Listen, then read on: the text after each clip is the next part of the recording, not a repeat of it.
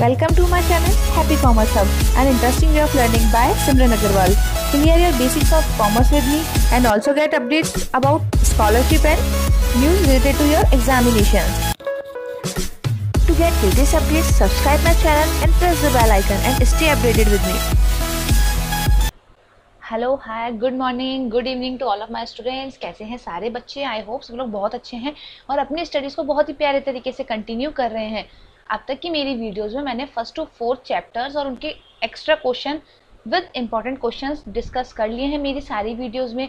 जो students first time मेरी video को देख रहे हैं, सबसे पहले तो चैनल को सब्सक्राइब कर लेना और इसके प्रीवियस की अगर आपको वीडियोस देखनी है तो प्लेलिस्ट है R B S C twelfth Hindi medium करके बी एस टी आप वहाँ पर जाके अब तक के सारे चैप्टर्स देख सकते हैं। इस वीडियो में हम बात करेंगे आपके चैप्टर नंबर फिफ्थ नेतृत्व और इसको भी हम उसी पैटर्न में समझेंगे नोट से समझेंगे बुक से नहीं समझेंगे, क्योंकि ये चैप्टर वैसे भी इतना ज़्यादा इंपॉर्टेंट नहीं है। देखा जाए तो लास्ट टू ईयर पहले तो उसमें से क्वेश्चन भी नहीं आया था। तो इसको मैं आपको यहीं समझा दूँगी, आपको बुक टच करने की ज़रूरत नहीं पड़ेगी। क्वेश्चन क्या बन सकता है, वो भी हम इसी वीडियो में डिस्कस कर लेंगे। इस वीडियो को एक्स्ट्रा पार्ट कोई नहीं आएगा। इसको एक ही वीडियो में हम कंप्लीट करेंगे। नेतृत्व नेता, ठीक है? नेता यानी कि इंग्लिश में देखा जाए तो लीडर और लीडरशिप करने का गुण, ठीक है? नेता बनने का गुण क्या कहलाता है? नेतृत्व। बेसिकली देखा जाए तो अगर एक फनी वे में बात करें तो हम सब में क्या छुपा होता है? एक नेता। जैसे मौका मिलता है, वो उछल कर बाहर आ जाता है। चाहे फ्रेंड ग्रुप की बात हो, चाहे फैमिली में कुछ मैटर हो, ठीक है ना? ह्यूमन बिहेवियर में ये चीज़ होती है, जैसे किसी को मौका मिलता है तो वो नेता बनने की ज़रूर कोशिश करता है। तो ये तो बात हुई थोड़ी सी फनी अब आपके चैप्टर के एस्पेक्ट में बात करते हैं। प्रत्येक संस्था में कर्मचारी को कार्य हेतु अभिप्रेरित करने के लिए जिन साधनों का प्रयोग किया जाता है, उनमें से नेतृत्व भी एक क्या है? प्रमुख साधन या तकनीक है, ठीक है? कर्मचारी को अभिप्रेरित करने के लिए जो भी टेक्निक्स यूज़ लाई जाती है, उनमें एक नेतृत्व भी शामिल होता है। एक संस्था की सफलता या असफलता हेतु काफ़ी हद तक नेतृत्व जिम्मेदार होता है, बिल्कुल हाँ जी होता है। इसमें कोई दो राह की बात नहीं है। नेता जितना अच्छा होगा, उतने अच्छे से वो अपने अनुयायियों को लीड करेगा और जितने अच्छे से अनुयायियों को लीड करेगा, काम उतने ही अच्छे तरीके से होगा और सफलता की हद तक वो लोग आराम से पहुँच जाएँगे। आगे बढ़ने से पहले इसका आप स्क्रीनशॉट ले सकते हो, साथ में कॉपी पेन लेके बैठ सकते हो और अगर पीडीएफ चाहिए तो मेरे टेलीग्राम चैनल पर ज्वाइन मुझे कर सकते हो। इसके अलावा कोई प्रॉब्लम है किसी चैप्टर में, ठीक है, या कोई और इशू है, किसी कंटेंट में दिक्कत है तो आप मुझे कमेंट बॉक्स में इंस्टाग्राम पर या टेलीग्राम पर कभी भी किसी भी वक्त बता सकते हो। प्रत्येक संस्था में समूह द्वारा की जाने वाली विभिन्न क्रियाओं का श्रेष्ठ निष्पादन कुशल नेतृत्व से ही संभव है। यहाँ तक भी माना जाता है कि अधिकांश व्यावसायिक प्रतिष्ठानों के असफलता का कारण अकुशल नेतृत्व ही होता है। अफकोर्स ही बात है, अगर आपका नेता अच्छा नहीं होगा तो क्या करोगे? लीड अच्छी तरीके से नहीं कर पाओगे। बहुत अच्छा एग्ज़ाम्पल देखा जाए तो चुनाव ही ले लीजिए। अगर नेता अच्छा होता है तो अक्सर पार्टी जीत जाती है, नेता अच्छा नहीं होता तो पार्टी हार जाती है। ऐसे ही गेम्स में, अगर स्कूल में आप लोग गेम की टीम में हैं, अगर आपका क्या है कैप्टन अच्छा है तो आपको अच्छी अच्छी स्ट्रैटेजी बताएगा तो आप जीत जाओगे और अच्छी स्ट्रेटजी नहीं बताएगा तो हार जाओगे। यही क्या होता है? बिज़नेस में होता है। नेतृत्व का अर्थ। सामान्य शब्दों में नेतृत्व से तात्पर्य किसी व्यक्ति विशेष के उस गुण से है। मैंने बताया था नेतृत्व क्या है? एक गुण है। जिसके माध्यम से वह अन्य व्यक्तियों, यानी कि जो उसके अंडर में, उसके साथ हैं का मार्ग प्रदर्शन करता है। इस प्रकार का नेतृत्व का अर्थ एक व्यक्ति द्वारा अन्य व्यक्तियों का इस प्रकार निर्देशन करना है कि निर्धारित लक्ष्यों की पूर्ति सरलता से हो जाए। आई होप आप लोगों को इंटरेस्टिंग तरीके से समझ में आ रहा है। ठीक है, इस प्रकार का नेतृत्व क्या क्या अर्थ हो गया? एक व्यक्ति द्वारा अन्य व्यक्तियों का इस प्रकार निर्देशन करना कि निर्धारित लक्ष्य हमें आसानी से प्राप्त हो जाए। एक नेता क्या करता है? अपने अनुयायियों को निर्देशित करता है और अपने उद्देश्य की प्राप्ति की ओर अग्रसर करता है। परिभाषा की बात की जाए तो तीन परिभाषा यहाँ पर मैंने ली है, चेस्टर आई बर्नार्ड, ये क्या कहते हैं? ध्यान रखना, परिभाषा हमेशा जैसे लिखी गई है, वैसे ही लिखी जाएगी सेम टू सेम उसमें आप अपने मन गणत कोई बात नहीं लिख सकते। नेतृत्व से आश्चर्य किन्हीं व्यक्तियों के व्यवहार के उस गुण से है, जिसके द्वारा वे सामूहिक प्रयासों में लोगों की क्रियाओं का मार्गदर्शन करते हैं। नेता खुद का नेतृत्व नहीं करेगा, या नेता एक या दो लोगों का नेतृत्व नहीं करेगा। नेता कब होगा जब उसके काफ़ी सारे अनुयायियों और ग्रुप में वो लोगों को लीड करे, ठीक है? तो नेतृत्व से आशय किन्हीं व्यक्तियों के व्यवहार के उस गुण से है जिसके द्वारा वे सामूहिक प्रयास में लगे लोगों की क्रियाओं का मार्गदर्शन करते हैं। मिस्टर टेरी क्या कहते हैं? टेरी कहते हैं कि नेतृत्व व्यक्तियों को पारस्परिक उद्देश्यों के लिए स्वैच्छिक प्रयत्न करने हेतु प्रभावित करने की योग्यता है। यानी कि एक ग्रुप में सब लोगों के क्या होते हैं? गोल्स शामिल होते हैं तो देखा जाए तो पारस्परिक उद्देश्य वो हो गए और उनको प्राप्त करने के लिए वो लोग क्या करते हैं? स्वैच्छिक प्रयत्न करते हैं। फ्रैंकलिन जी मूरे कहते हैं, नेतृत्व व्यक्तियों को नेता की इच्छा अनुसार क्रिया करने के लिए तैयार करने की योग्यता है। नेतृत्व क्या है? कि नेता के अकॉर्डिंग आप क्या करो, काम करो तो उसको तैयार करने की योग्यता है। निष्कर्ष रूप में कहा जा सकता है कि नेतृत्व वह व्यक्तिगत गुण है, ठीक है ना? ध्यान रखना, ये व्यक्तिगत गुण है, हर किसी व्यक्ति में अलग अलग होता है सेम नहीं होता। जिससे एक व्यक्ति किसी दूसरे व्यक्ति की इच्छा को इस प्रकार प्रभावित करता है कि वह संस्था के उद्देश्यों को प्राप्त करने के लिए स्वैच्छिक रूप से उत्साहपूर्वक तैयार हो जाए। इसको कंक्लूजन के रूप में आप लिख सकते हैं। अगर क्वेश्चन आता है आपका कि नेतृत्व किसे कहते हैं तो आप यही लिखेंगे कि नेतृत्व से आशय उस व्यक्तिगत गुण से है जिसमें एक व्यक्ति किसी दूसरे व्यक्ति की इच्छा को इस प्रकार प्रभावित करता है कि वह संस्था के उद्देश्य को प्राप्त करने के लिए स्वैच्छिक रूप से उत्साहपूर्वक तैयार हो जाए। यहाँ पर स्वैच्छिक का क्या मतलब है? आप किसी से क्या हुआ इंस्पायर हुए, आपको लगा कि यार ठीक है, ये बंदा सही कह रहा है तो आपके मन की बात क्या हो जाएगी? उसके तरीके से काम करने के लिए आप प्रेरित हो जाओगे। नेतृत्व की विशेषताओं की बात की जाए तो व्यक्तिगत गुण, नेतृत्व नेता का व्यक्तिगत गुण होता है, यह व्यवहारिक गुण है, नेता अपने व्यवहार से अन्य व्यक्तियों को प्रभावित करता है और उन्हें निर्धारित लक्ष्यों की प्राप्ति हेतु प्रेरित करता है। आई होप ये समझ में आया होगा। अनुयायी अनुयायी यानी का मतलब होता है फॉलोअर्स नेता किसके बिना अधूरा है? अनुयायियों के बिना। अगर नेता के अनुयायी ही नहीं है तो वो किसका नेता बन रहा है? किसको लीड कर रहा है? वो किसी को लीड नहीं कर रहा तो अनुयायी होना ज़रूरी है। अनुयायियों के बिना नेता का होना संभव नहीं है। यह एक प्रमुख विशेषता है, इसलिए कहा गया है कि अनुयायियों के अभाव में नेता तथा उसके नेतृत्व की कल्पना भी नहीं की जा सकती। यह विशेषता निम्न दो बातों पर बल देती है कि नेता को अपने अनुयायियों से स्वाभाविक आज्ञा पालन प्राप्त होना चाहिए और नेता नेता का नेतृत्व तो अनुयायियों को स्वीकार होना चाहिए। ठीक है? नेता को अपने अनुयायियों से स्वाभाविक, यानी कि यहाँ पर देखा जाए तो उनमें इतनी अच्छी बॉन्डिंग होनी चाहिए कि नेता जो कहना चाह रहा है, वो उसके अनुयायी मान लें और नेता का नेतृत्व तो अनुयायी को स्वीकार होना चाहिए और जो उनके अनुयायी चाह रहे हैं, ठीक है? उसी के हिसाब से एक नेता काम करे।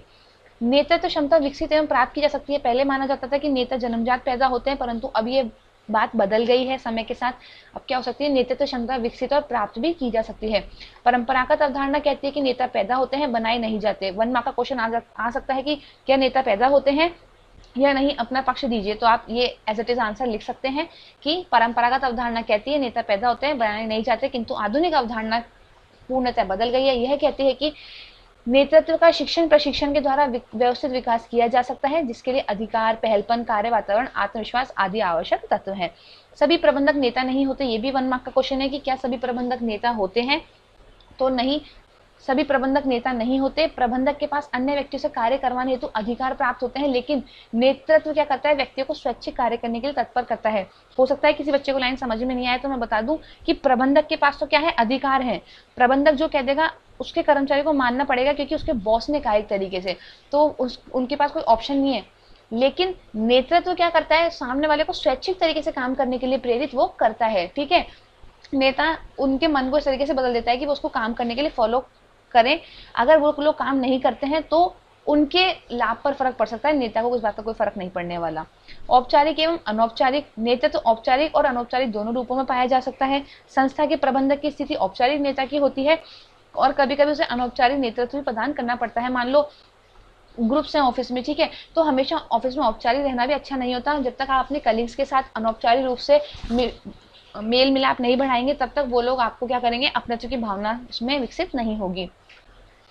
हितों की एकता, नेतृत्व तो एवं उसके अनुयायियों के हित एक समान होने चाहिए, ठीक है? ऐसा नहीं है कि अनुयायी तो कुछ और चाहते हैं, नेता कुछ और चाहता है, या फिर नेता केवल अनुयायियों का फ़ायदा लेने के लिए उनका नेता बना हुआ है। ऐसा बिल्कुल भी नहीं होना चाहिए। नेता अपने अनुयायियों की बात माने, ऐसा ही होना चाहिए। नेतृत्व और उसके अनुयायियों के हित एक समान होना चाहिए। किसी संगठन में यदि नेता और उसके अनुयायियों के हित अलग है तो वहाँ नेतृत्व का कोई प्रभाव नहीं रहेगा। क्योंकि फिर तो उनमें कॉन्फ्लिक्ट हो जाएगा, संघर्ष हो जाएगा, कि नेता हमारी बात नहीं मानता तो फिर किस बात का नेता? फिर वो संबंध खत्म हो जाता है वहाँ पर। नेतृत्व के गुणों की बात की जाए तो किसी व्यवसायिक संगठन की सफलता या असफलता नेतृत्व के गुणों पर ही निर्भर करती है। अतः सफलता की प्राप्ति नेतृत्व में अनेक विशिष्ट गुणों का होना आवश्यक है, ठीक है? एक नेता में क्या क्या गुण होने चाहिए? नेतृत्व में क्या क्या गुण होने चाहिए? तो कुछ प्रमुख विद्वान उन्होंने बताए हैं। हेनरी फ्योल ने बताए हैं। स्वास्थ्य और शारीरिक क्षमता योग्य और मानसिक संतुलन, नैतिक गुण, ज्ञान प्रबंध की योग्यता चेस्टर आई बर्नार्ड बोलते हैं, निर्णय क्षमता, उत्तरदायित्व, विनम्रता, बौद्धिक क्षमता, स्फूर्ति, सहनशीलता, सामाजिक चेतना, सुंदर व्यक्तित्व आपकी बुक में ज़्यादा दे रखे हैं, पर जो मोस्ट इंपॉर्टेंट थे मैंने वही यहाँ पर कवर किए हैं। एज आई टोल्ड यू बहुत मोस्ट इंपॉर्टेंट चैप्टर ये नहीं है तो जितना यहाँ पर है, उसको आराम से आप रीड करें।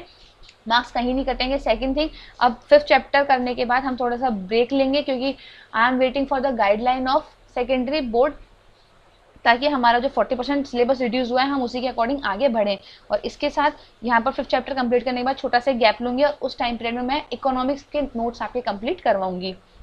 जॉर्ज आर टेरी की बात की जाए तो शक्ति, भावनात्मक स्थिरता, मानवीय संबंधों का ज्ञान, व्यक्तिगत अभिप्रेरणा, संप्रेषण योग्यता, शिक्षण योग्यता, सामाजिक योग्यता और तकनीकी क्षमता, ये इन्होंने अपने अपने हिसाब से एक नेता में क्या क्या गुण होने चाहिए वो बताए हैं।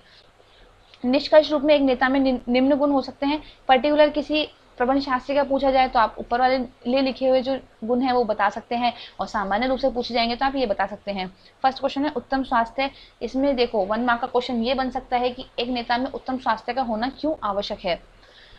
एज इट इज़ जो यहाँ पर लिखा हुआ है, उसको लिख देना, एक नेता का स्वास्थ्य उत्तम और शरीर सुगठित होना चाहिए। माना जाता है कि स्वस्थ शरीर में ही स्वस्थ मस्तिष्क का निवास होता है।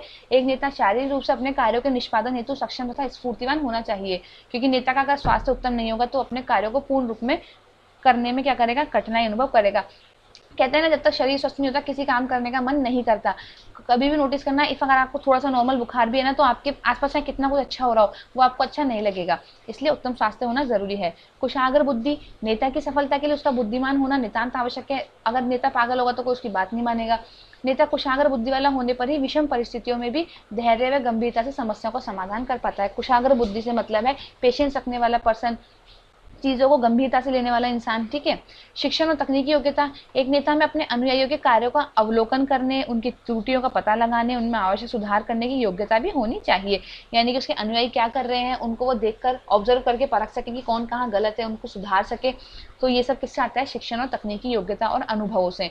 नेता में अपने कार्य से संबंधित कार्य विधियों तकनीकी ज्ञान, नियम, कानून आदि की भी जानकारी होनी चाहिए। अन्यथा वह तकनीकी रूप से अपने अनुयायियों का मार्गदर्शन सही रूप में नहीं कर पाएँगे। यहाँ पर ये चैप्टर खत्म होता है, अब बात कर लेते हैं इंपॉर्टेंट क्वेश्चन की। तो यहाँ पर क्या क्या क्वेश्चन आपके बन सकते हैं? नेतृत्व से आप क्या समझते हैं? जो मैंने आपको कंक्लूजन बताया था, वो लिखना है। ठीक है? तीनों मैंने परिभाषा बता दी, किसी भी एक ऑथर की अगर आती है तो आराम से लिख लेना। नेता के लिए अनुयायी होना क्यों आवश्यक है? ये पॉइंट भी मैंने अच्छे से क्लियर किया है। क्या सभी प्रबंधक नेता होते हैं? बिल्कुल क्लियर कर दिया मैंने। हेनरी फ्योल ने नेता के गुण क्या बताए? एक नेता में उत्तम स्वास्थ्य क्यों आवश्यक है? नेतृत्व की विशेषता के चार बिंदु लिखिए। नेतृत्व के चार गुणों की व्याख्या कीजिए। पूरी तरीके से चैप्टर कंप्लीट होता है। आई होप सब बच्चों को समझ में आया है। ठीक है, जो बच्चे कंटिन्यू स्टडी कर रहे हैं, एक तरीके से अटेंडेंस लगा देना, बता देना कि मैम आपकी वीडियो अच्छी थी, हमें समझ में आया लाइक कर देना, अपने दोस्तों के साथ शेयर कर देना। जल्दी मिलेंगे, लेकिन अब कब मिलेंगे? जब हमारे पास गवर्नमेंट की गाइडलाइन आ जाएगी कि 40 परसेंट सिलेबस रिड्यूस हो गया है, उसके बाद ही नेक्स्ट वीडियो में अपलोड करूँगी। तब तक पढ़ते रहना और अपना ध्यान रखना।